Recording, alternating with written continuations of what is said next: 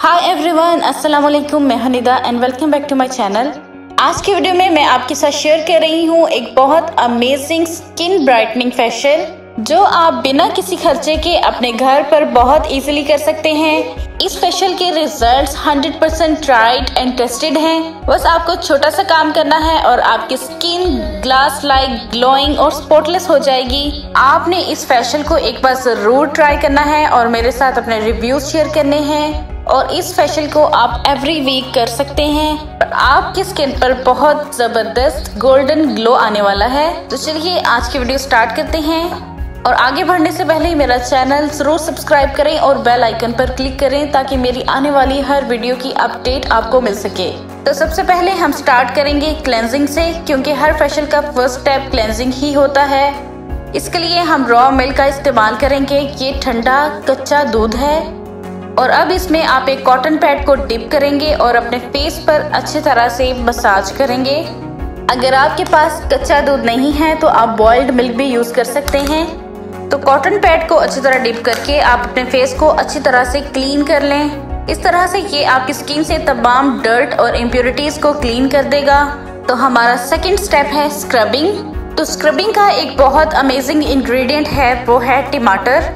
टमाटर में vitamin C की अमाउंट बहुत ज़्यादा होती है, जो आपकी स्किन वाइटनिंग में हेल्प आउट करती है। और इसको नेचुरल ब्लीचिंग एजेंट भी कहा जाता है। तो जब आप अपने स्किन पर टमाटर की एप्लीकेशन करते हैं तो ये आपकी स्किन से एक्नी और पिंपल्स को रिड्यूस करने में हेल्प आउट करता है। आपके ओपन पोर्स को श्रिंक करता है और आपकी स्किन पर मौजूद एक्सेस ऑयल को रिड्यूस करता है। टमाटर को एंटी एजिंग भी कहा जाता है। ये आपकी स्किन से रिंकल्स और फाइन लाइंस को रिड्यूस करता है। ये आपकी स्किन से पिगमेंटेशन को रिड्यूस करता है। आपकी स्किन को सन बर्न से क्योर करता है। तो सबसे पहले जो इंग्रेडिएंट हमें चाहिए है, वो है कॉफ़ी पाउडर कॉफ़ी के बारे में आप जानते हैं कि आपकी स्किन को एक्सफोलिएट करती है। आपकी स्किन टोन को इम्प्रूव करके इसको लाइटन अप करती है और आपकी स्किन पर ब्लड सर्कुलेशन को इम्प्रूव करती है।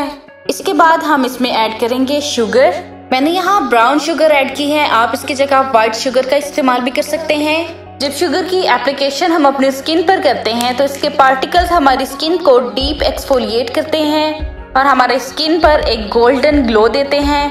और अब हम इसमें ऐड करेंगे कोकोनट ऑयल और हाफ़ लेमन जूस। तमाम चीज़ों को अच्छी तरह मिक्स कर लें।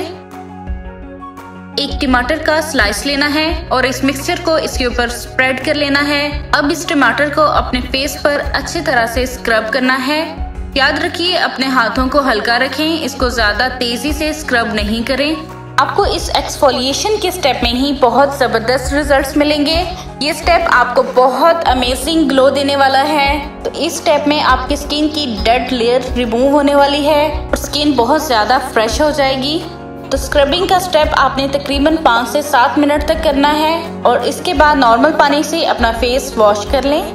तो अब चलते हैं हम हमारे फाइनल स्टेप की तरफ़, जो है फेस पैक फेस पैक बनाने के लिए जो फ़र्स्ट इंग्रेडिएंट हमें चाहिए है, वो है फेनोग्रिक पाउडर यानी मेथी दाना पाउडर फेनोग्रिक पाउडर आपकी स्किन के लिए बहुत कमाल के रिजल्ट्स रखता है। इसमें विटामिन सी की मौजूदगी आपकी स्किन को ब्राइटन अप करती है। अगर आपका कॉम्प्लेक्शन बहुत डल हो चुका है तो फेनोग्री का इस्तेमाल आपकी स्किन को लाइटन अप ब्राइटन अप करने में हेल्प आउट करता है। ये आपकी स्किन से पिगमेंटेशन ब्लेमिशेस डार्क स्पॉट्स को रिड्यूस करता है। एक्नी पिंपल्स को खत्म करने में हेल्प आउट करता है और साथ ही साथ ये आपकी स्किन को टाइटन अप करने में हेल्प आउट करता है। इसके बाद हम इसमें ऐड करेंगे coffee powder one tablespoon aloe vera gel and finally rose water add करके एक थिक पेस्ट बना लेंगे।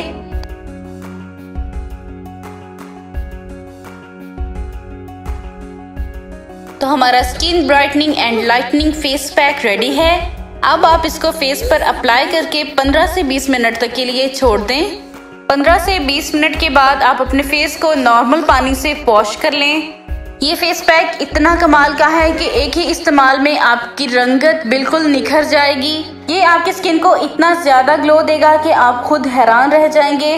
तो आप इस फेशियल को ज़रूर ट्राई करें। उम्मीद करती हूँ मेरी वीडियो आपके लिए यूजफुल होगी। तो मेरी वीडियो को लाइक करना और मेरे चैनल को सब्सक्राइब करना मत भूलिएगा।